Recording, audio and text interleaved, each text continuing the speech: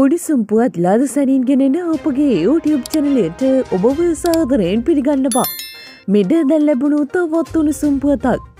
අතිමාත්‍රා ලබාදී ගබ්සාවක් සිදුකිරීමට යාමේදී දොළොස් ඇවරදි දැරියක මියගේ සිද්ධියට දළව අතරංගොඩගත් ඇගේ මව පියා සහ සහෝදරිය රඳවා ප්‍රශ්න කිරීමට මුලතිව් මහස්ත්‍රත් අධිකරණය ඊයේ පොලිසියට අවසර ලබා දුන්නා. දැරිය අතවරයට ලක්කර ඇගේ සොහයුරියගේ සැමියා ජනවාරි හතරවයිදා දක්වා රක්ෂිත බන්ධනාගාර ගත කර තිබෙනවා. මෙම දැරිය අතුරුදන් බවට පළමුව වාර්තා වූ අතර පසු ඇගේ සිරුර පුදුකිඩිරිප්පු මුංගලාර ප්‍රදේශයේ පාලුවිටමක තිබී සොයා ගත්තා. පස්ටත් මට පරීක්ෂණවලදී අනාවරණය වුණේ සොහයුරියගේ සැමියාතින් අතවරයට ලක්ව මාස දෙක පමණ ගැබ්ලියකු සිටි දැරියට පවුලේ පිරිසගේ අනුදැනුව මත අධිමාත්‍රා ඖෂධ ලබාදී දරුගැබීවත් කිරීමට යාවිදී සිදුව අධිකරු දිරවාණයවීම නිසා මෙම මරණය සිදුව ඇති බවයි.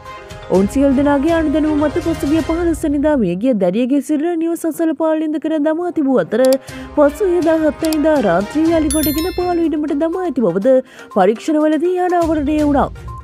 මෙවැනි උණුසුම් පුවත් ලද සැනින් දැන ගැනීම සඳහා අපගේ YouTube චනලය සබස්ක්‍රයිබ් කර බෙල්ලයිකනය ක්‍රියාත්මක කරන්න.